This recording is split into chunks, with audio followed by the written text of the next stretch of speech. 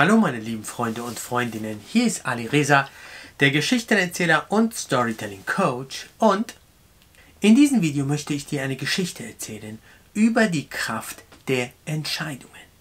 Über Entscheidungskraft will ich mit dir reden und ich will dir eine Geschichte erzählen, eine wunderschöne Geschichte.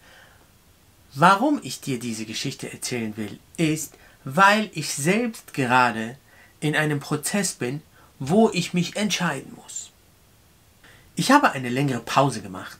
Eine längere Pause gemacht mit allem, wie zum Beispiel mit Social Media, mit YouTube-Videos machen.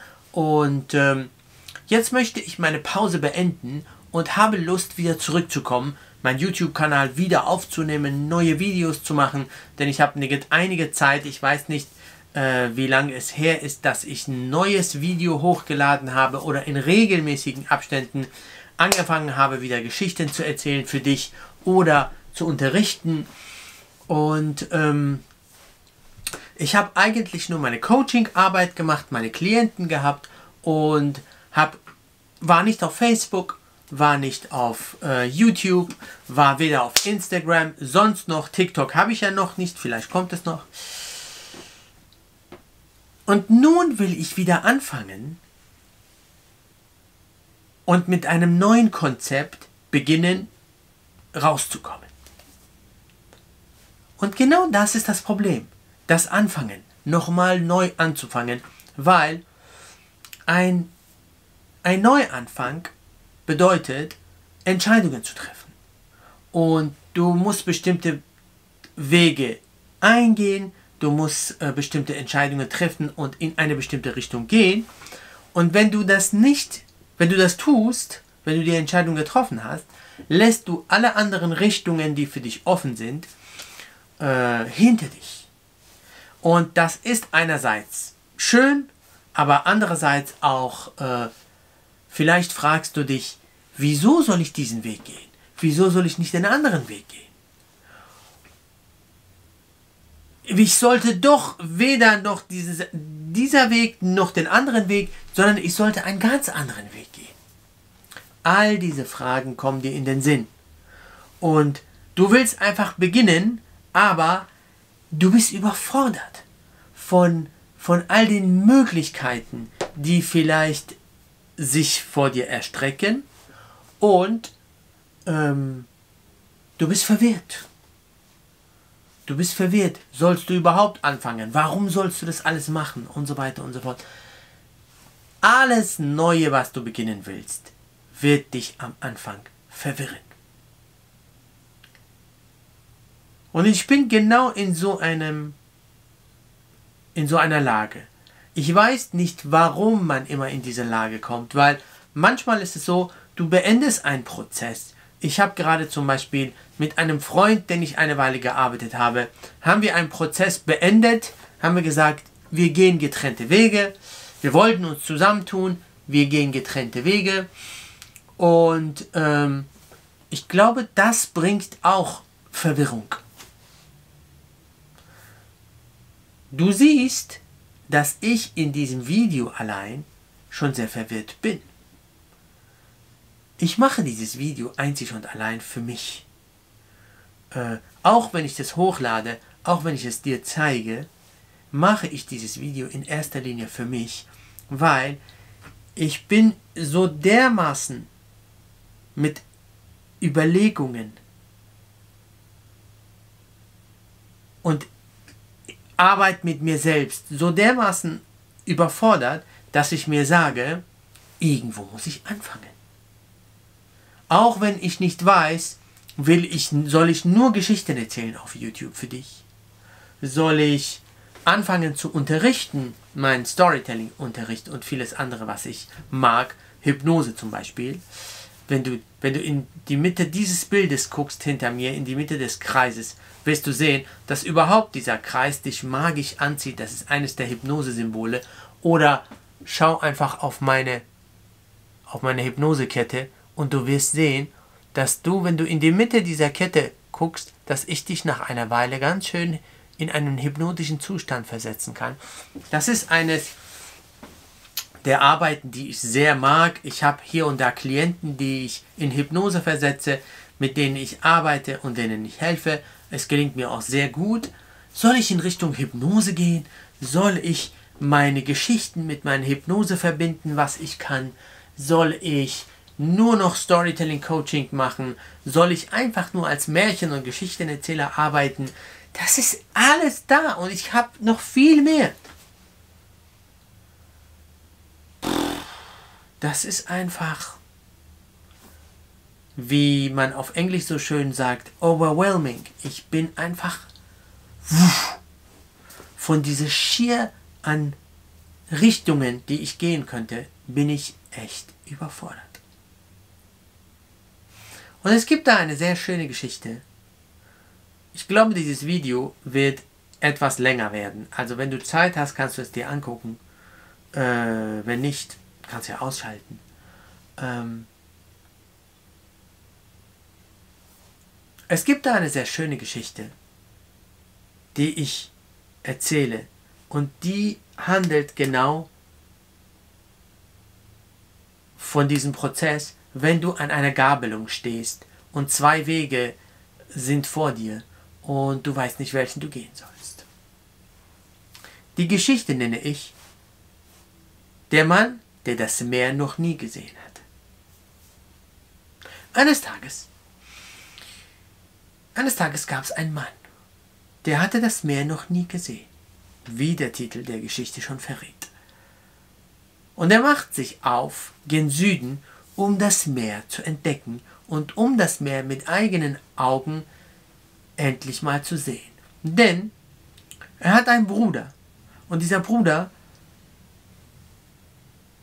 hat sich ein Haus gekauft an einer bestimmten Anhöhe. Ein kleines, bescheidenes Haus.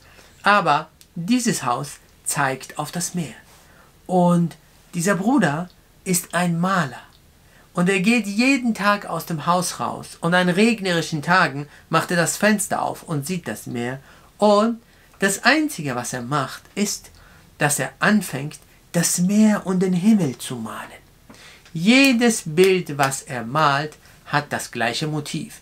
Er malt das Meer und er malt den Himmel. Und sein, sein Anliegen ist, er will ein einziges Mal, für ein einziges Mal, das Blau des Meeres und das Blau des Himmels einfangen können. Er liebt dieses Blau. Er liebt dieses Azurblau, wie man es auf Italienisch sagt. Azur oder Azurblau.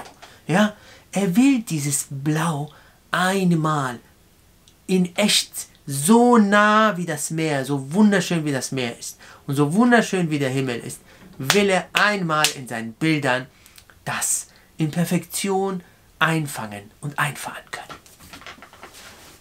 Und der ältere Bruder, das ist der Mann, der das Meer noch nie gesehen hat,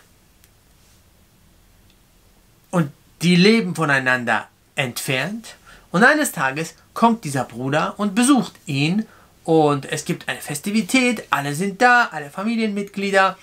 Und der ältere Bruder fasst sich immer an, an den Kopf und sagt, wie kann man so etwas machen? Wie kann man jeden Tag das Blau des Meeres, das Blau des Himmels, Blau einfangen wollen? Jeden Tag das gleiche, jeden Tag das gleiche Motiv malen. Das ist verrückt. Verschwendete Lebenszeit. Warum überhaupt?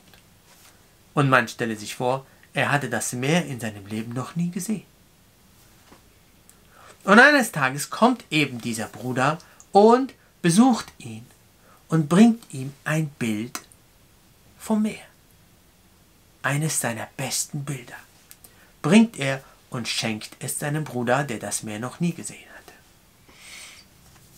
Und beim Anblick dieses Bildes, der Mann, der das Meer noch nie gesehen hatte, hatte immer vom Hörensagen gehört, wie schön das Meer ist, wie die Sonnenstrahlen auf die Wellen äh, treffen und das Meer diese Sonnenstrahlen reflektiert und es wie so ein glitzernder Teppich ist, wenn die Sonne aufgeht.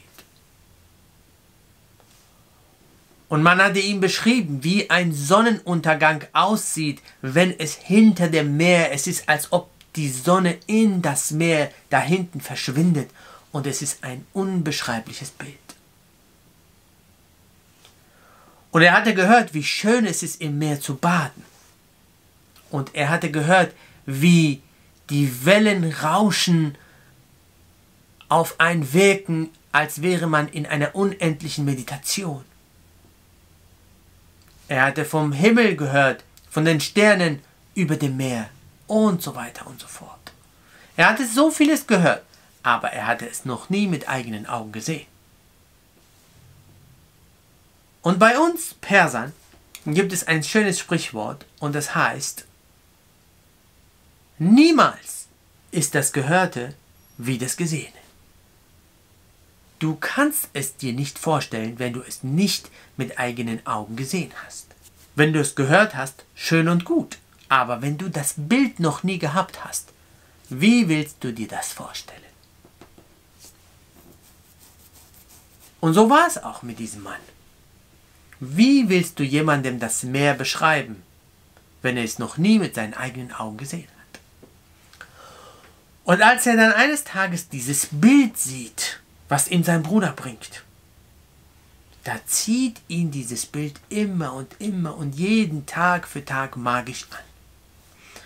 Und er kann nicht anders, als eines Tages zu entscheiden, er nimmt seinen Rucksack und läuft gen Süden um das Meer zu entdecken. Er läuft und läuft und läuft und läuft. Und sein Proviant neigt sich dem Ende zu langsam. Ab und zu kauft er hier in dem einen Dorf oder anderen Dorf Proviant mit Kaffee und läuft weiter. Und eines dieser besagten Tage geht sein Proviant langsam zu Ende und er hat nur noch ein bisschen Kaffee. Und er kommt und kommt an einer Gabelung. Und die Gabelung führt nach rechts und links. Und er weiß nicht, welchen Weg er nehmen soll und welcher Weg wird ihn ans Meer führen.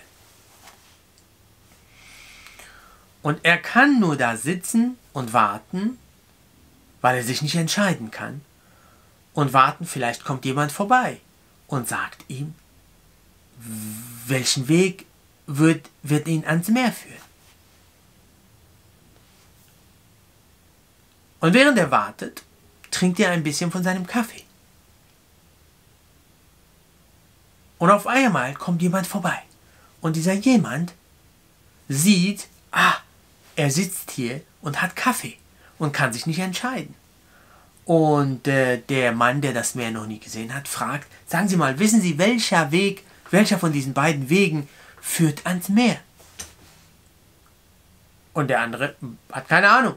Aber er fragt, sagen Sie mal, Sie haben in dieser Walachei, hier ist nichts, hier ist niemand. Es ist fast wie am Ende der Welt. Und Sie haben hier Kaffee? Kann ich mal einen Schluck Kaffee haben? Ja, bitte.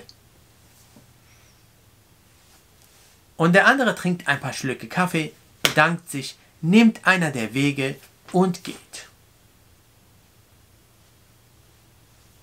Und der Mann, der das Meer noch nie gesehen hat, wartet immer noch auf einen, der kommt und ihm sagt, welchen Weg könnte er nehmen, und dieser Weg führt, das führt ans Meer. Am nächsten Morgen, er macht sein Zelt da auf und schläft da an dieser Gabelung. Am nächsten Morgen kommt jemand vorbei. Und auch dieser jemand weiß nicht, wohin dieser Weg führt, wohin diese Gabelung führt. Soll er den rechten Weg nehmen, soll er den linken Weg nehmen? Aber er sieht, es gibt ein kleines Feuerchen und es gibt frischen, frisch gekochten Kaffee. Also fragt er, ob er Kaffee haben kann. Er bekommt Kaffee und nimmt entweder den rechten oder linken Weg und ist weg. Und der Mann, der das Meer noch nie gesehen hat, kann sich immer noch nicht entscheiden. Welcher Weg wird mich ans Meer führen? Ich weiß es nicht. Er wartet. Am frühen Nachmittag kommt eine Frau vorbei. Und auch die sieht, oh, es gibt Kaffee. Und alle wollen Kaffee. aber niemand, niemand weiß, wohin dieser Gabelung führt. Der Mann wartet ein Tag, zwei Tage, drei Tage, eine ganze Woche. Seine Proviant geht schon zu Ende. Er hat Hunger. Er geht wieder zurück zum letzten Dorf, wo er war, kauft Sachen, kauft Kaffee, kommt und mittlerweile hat er sein Zelt optimiert. Er hat ein größeres Zelt aufgebaut. Er hat sich da bequem gemacht und die Leute kommen vorbei und sie bekommen Kaffee, sie bekommen Proviant, wissen alle nicht, wohin dieser Gabelung führt und gehen weiter. Und der Mann, der geht immer im letzten Dorf zurück, holt sich Proviant und baut sich dort mittlerweile eine kleine Hütte. Und versorgt immer mehr die Leute, die vorbeikommen und irgendeinen Weg dieser Gabelung nehmen. Und nach zwei Jahren, zwei ganze Jahre hat er sich nicht entschieden. Nach zwei Jahren hat er dort fast schon ein, ein kleines Hotel, ein Bistro, alles aufgebaut, weil die Leute kommen und sehen, dass an dieser Gabelung am Ende der Welt, wo nichts ist, wo nur ein Weg rechts und links führt, ein kleines Hotel ist, wo sie versorgt werden. So etwas wie wir im Orient sagen, eine Karawanserei. Ja, du kannst da kurz bleiben, was essen, was trinken, mit einem Kaffee die stärken und den Weg nehmen und weitergehen. Fünf ganze Jahre vergehen. Fünf ganze Jahre. Und der Mann hat ein da ein tolles Haus gebaut. Und alle kommen und bewundern sein Werk. Und alle gehen weiter. Aber er bleibt. Er kann sich nicht entscheiden. Fünf ganze Jahre. Mittlerweile hat er am Fuße eines Bergs sogar schon Wein angebaut und macht seinen eigenen Wein. Und eines Tages kommt eine Frau vorbei und sieht, er hat nicht nur Kaffee, er hat sogar Wein. Also bleibt sie etwas länger und sie trinken zusammen Wein. Und er erzählt ihr seine Geschichte, wie es kam, dass er hier ein Haus gebaut hat. Und sie sagt, oh, du wolltest das Meer sehen. Also hast du das Meer noch nie gesehen. Du bist hier stehen geblieben, du bist nicht weitergegangen, weil du nicht wusstest, welcher Weg führt dich ans Meer oder nicht. Nein, ich bin nicht weitergegangen. Also hast du dein Vorhaben, dein Traum, das Meer zu sehen, aufgegeben? Und die Frau trinkt den letzten Schluck Wein, setzt ihn ab und sagt, Arrivederci, ich muss jetzt gehen. Auch ich weiß nicht, welcher dieser Wege wohin führen, aber ich weiß, ich muss einen davon nehmen. Sie nimmt schnell den rechten Weg und ist weg. Und der Mann bleibt allein mit seinem Wein.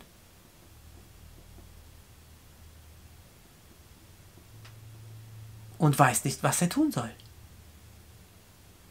Und schaut sich den rechten und den linken Weg einmal genau an.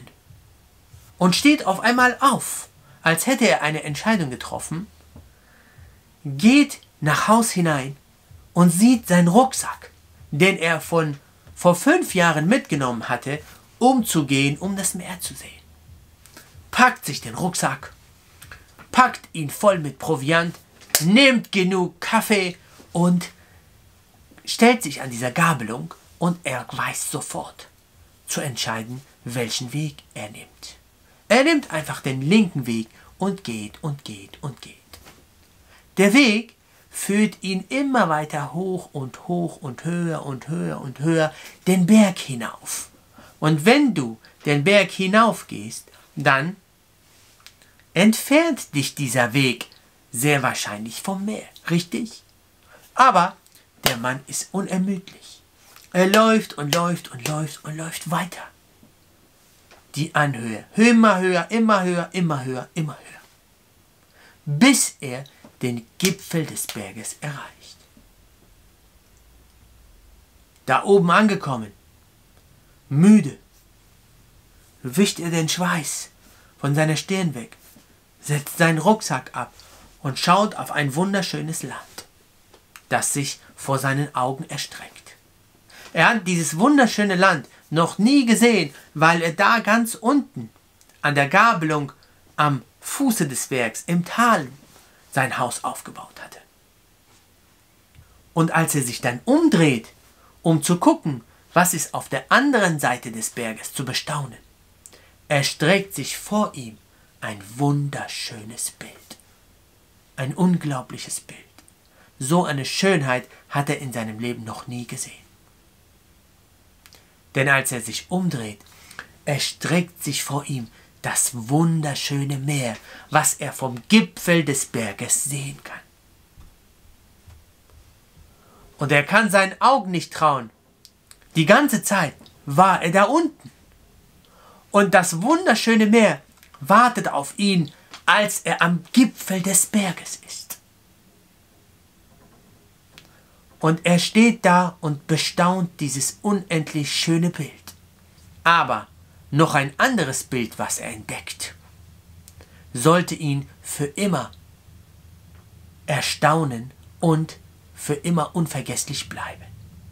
Denn er schaut nicht nur auf das Meer, sondern von da oben kann er endlich sein eigenes Haus sehen. Er kann von da oben nicht nur sein eigenes Haus sehen, was er fünf Jahre lang gebaut hat, sondern er kann die Gabelung sehen. Und er kann alle Wege, von da oben hat er die Aussicht zu verfolgen, welche Wege hätte er nehmen können, denn von da oben kann er sehen, welche Wege führen von dieser Gabelung alle weg. Und er kommt aus dem Staunen nicht raus, denn er sieht, egal welchen Weg hätte er genommen, ob er nach rechts gegangen wäre oder nach links, alle Wege hatten ihn ans Meer geführt. Alle Wege hätten ihn ans Meer geführt. Der Gipfel hat ihn ans Meer geführt. Hätte er den rechten Weg genommen, wäre er viel früher an das Meer gekommen. Aber er hätte diese Aussicht nicht gehabt. Er hätte nicht entdeckt, dass egal welchen Weg er hätte genommen, alle Wege hätten ihn ans Meer geführt. Nun, meine liebe Freundin, mein lieber Freund, hoffe ich, dass diese Geschichte dir gefallen hat.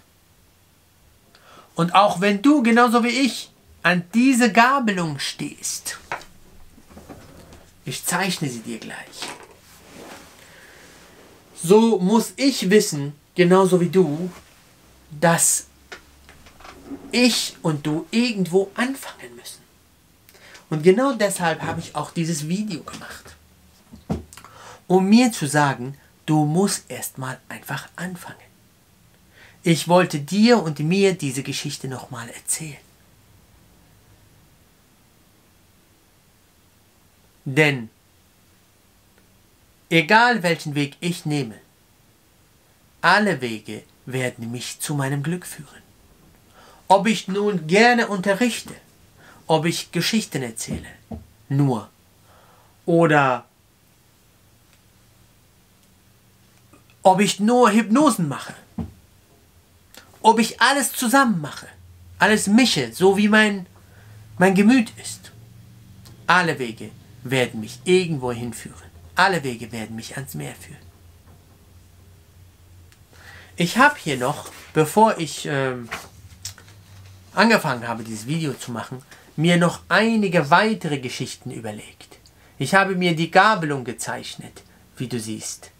Ich habe mir ein, eine Kreuzung gezeichnet. Ich habe mir sogar einen Platz gezeichnet, von diesem Platz viele Straßen wegführen. Und ich habe noch viele Geschichten. Und ich werde sie dir nach und nach in meinen nächsten Videos erzählen, denn ich habe ja gesagt, ich will wieder anfangen, meinen YouTube-Kanal aufzunehmen meine anderen Kanäle aufzunehmen. Ich will wieder unterrichten. Ich will wieder Hypnosen machen. Du siehst, ich glaube, dieses Video hat für mich und auf mich eine befreiende Wirkung. Ich muss mich nicht entscheiden. Ich kann den einen Weg nehmen, wieder zur Platz zurück und wieder den anderen. Aktuell ist das mein Gemüt. Alle Bücher, die ich lese, wollen mich zu einer Entscheidung zwingen. Zum Erfolg zwingen. Vielleicht ist das nicht mein Typ. Vielleicht bin ich ein anderer. Vielleicht bin ich der Mann, der an dieser Gabelung ein Zelt aufbaut und die Leute kommen und ich erzähle ihnen Geschichten und gebe denen Kaffee und Wein. Wer weiß. In meinem nächsten Video erzähle ich dir bestimmt wieder eine schöne Geschichte. Und sei gespannt auf die Moral der Geschichte und denk daran, egal welchen Weg du nimmst, der wird dich immer an das wunderschöne Meer führen. Bis bald. Bis zu meiner nächsten Geschichte. Hier war Ali Reza, der Geschichtenerzähler und Storytelling Coach. Autor des Buches, Autor des Buches Die Hollywood-Strategie mit Geschichten zum Erfolg, wo du Storytelling für dich und für deine Arbeit lernst. Du siehst, ich kann mein, meine Sachen nicht aufgeben. Die Links zu meinen Aktivitäten findest du immer unter diesem Video. Also bis zum nächsten Mal, wo ich dir eine andere Geschichte erzähle. Morgen sehen wir uns weiter.